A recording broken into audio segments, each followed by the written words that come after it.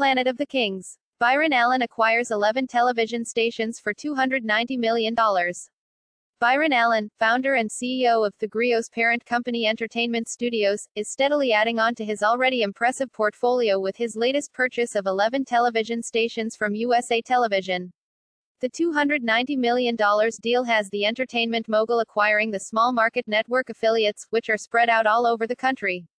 I have known Byron Allen for decades and we are delighted that these stations will now be part of his dynamic company, and that Heartland Management will continue to guide them, said USA Television CEO Robert S.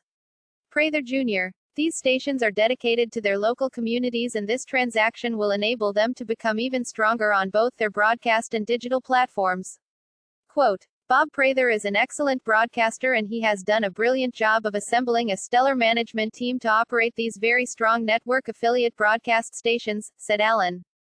This is another milestone for our company, as we have now agreed to purchase our second broadcast NETW work affiliate station group within the past three months, and continue to aggressively look for other opportunities to grow our global media company through strategic acquisitions. Read more Killer Mike demands black people stand with Byron Allen in discrimination fight against Comcast going to T. He Supreme Court. Bayou City Broadcasting. Earlier this summer, Byron Allen was making major mogul moves once again by successfully purchasing Bayou City Broadcasting Evansville, Inc., and Bayou City Broadcasting Lafayette, Inc. for $165 million.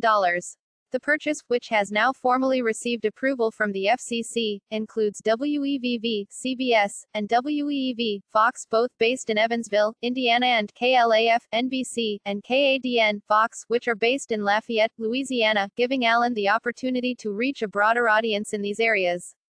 The Bayou City broadcasting entities are now a welcomed part of Allen's Entertainment Studios, Inc., one of the largest independent producers and distributors of film and television with 43 shows currently on the air, and 9 24-hour HD television networks now serving nearly 160 million subscribers. One of those networks is ever popular The Weather Channel and its streaming service Local Now. Like, comment, share, subscribe, comment, follow, then visit